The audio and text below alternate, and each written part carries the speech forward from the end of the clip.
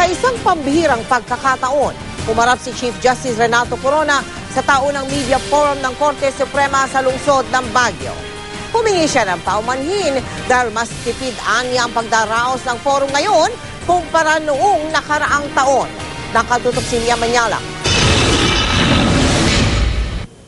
Kumpleto ang labinlimang mahistrado ng Korte Suprema sa ikalawang NBank Summer Session dito sa Baguio City. Natalakay kahapon ang apela ng Hacienda Luisita Incorporated na humihingi ng just compensation mula sa gobyerno para sa pamamahagi ng lupain sa mga magsasaka.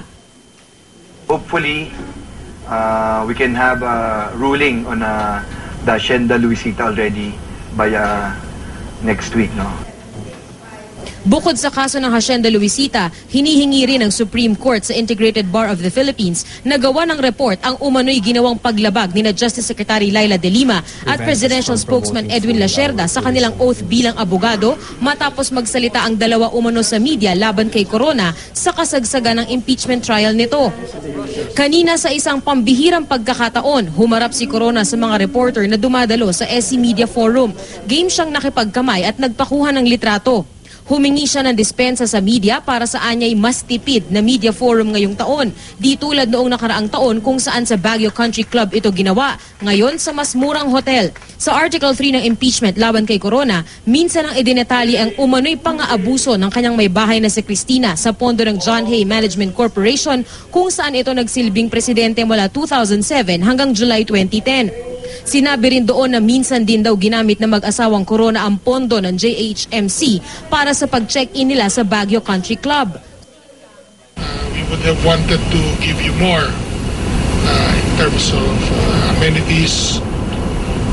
Ang, uh, pero alam niyo, because of the present realities, medyo maraming na maiinit na mata nakatutok sa atin. uh, and pa yung kawa natin, medyo mahigpit. Inihingi rin ng paumanhin ni Corona ang pagiging mailap nito sa media. there are times na medyo hindi masyadong friendly yung disposition ko. Dahil siguro merong maraming trabaho, yung pressure here and there. But uh, pasensya na lang po. Hindi naman hindi naman sa pasungit ako, hindi naman ako ganun eh.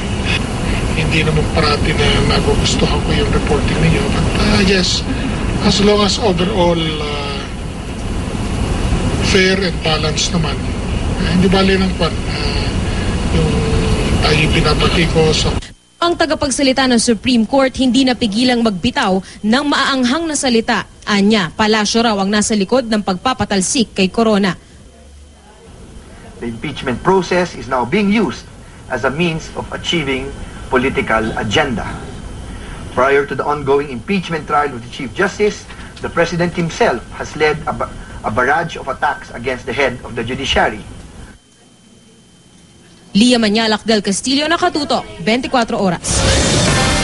Nagbigay naman ng reaksyon ng palasyo sa pahayag ni Attorney Midas Marquez ay kay Secretary Ricky Carandang sa halip na patutsadahan ang Pangulo.